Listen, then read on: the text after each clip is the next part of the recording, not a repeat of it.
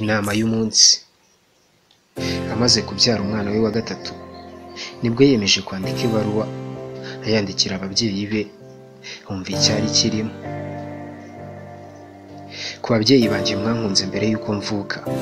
Na nyuma yo kuvuka bikaba uko ndabizi ko hari byinshi byahindutse mu buzima bwanyu nyuma y'uko mbujemo ndabizi neza ko hari byinshi mwiyimye kugira ngo njye mbibone. Ariko kubera imyaka y'ubuto simbibone ndetse simbihe agaciro.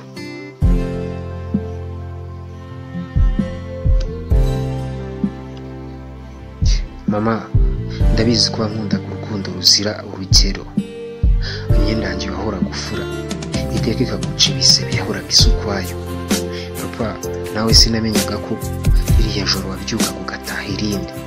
Byose byabaga ari ukugira ngo ibyo dukeneye mu rugo tubibone warukaga ari uko byose byabonetse.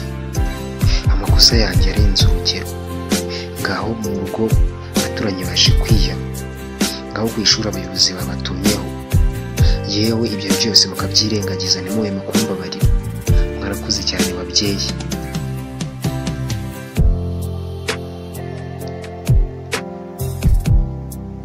Mama sinibagiwe ukuntu wavaga guhaha. Amafaranga yavuye kuri wagira ngo hari aho ugiye gato? Ugasanga ndabimennye. Agahinda n'umujinya bikagufata. Ariko ukarenzaho ukambabarira.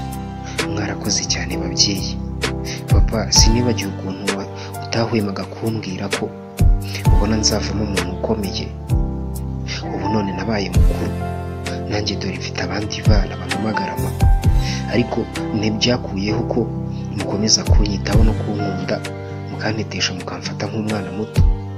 Uko iminsi ishira indi igataha murarushaho gusaza. Iyaba byashobokaga ko hari icyo nakora nabahakuramo ingoma igihumbi. Ibi byose byanditse kugira ngo mbashimire mubone ko mutambyariye ubusa. Inama y'umunsi. Njye nitwa kirenga rodirigezi